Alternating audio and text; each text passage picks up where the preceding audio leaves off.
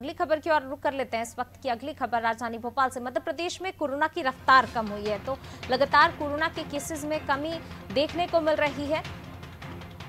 24 घंटे में प्रदेश में 950 संक्रमित मिले। 1000 से नीचे आंकड़ा पहुँच गया है।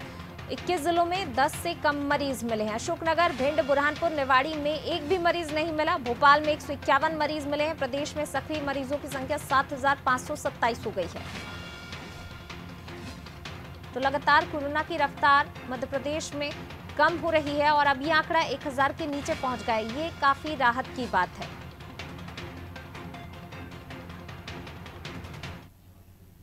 ज़्यादा जानकारी के लिए नीरज जी का रुख कर लेते हैं। नीरज जी, कोरोना की रफ्तार कम हुई है और राहत की बात, काफ़ी राहत की बात है कि अब 1000 से कम संख्या में केसेस सामने आ रहे हैं।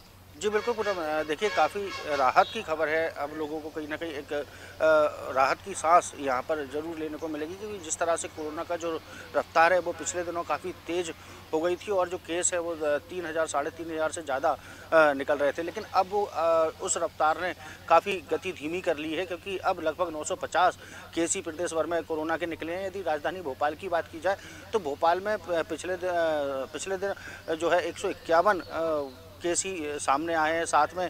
यदि बात की जाए भोपाल ज़िले में जो है सबसे ज़्यादा जो केस हैं वो अठारह केस हैं फ़िलहाल जो एक्टिव केस हैं। तो कहीं ना कहीं एक राहत वाली खबर है जिस तरह से जो कोरोना के जो केसेस हैं वो लगातार कम होते जा रहे हैं। यानी कि यदि ऐसा ही चलता रहा तो कुछ दिन में कोरोना पूरी तरह से भी समाप्त होने में ज़्यादा देर नहीं लगेगी। जी जी। बिल्कुल। शुक्रिया नीरज जी इस तमाम जानकारी को साझा करने के लिए तो बिल्कुल काफ़ी राहत की बात है। मध्य प्रदेश में कोरोना की रफ्तार पहले से काफ़ी ज़्यादा कम हुई है।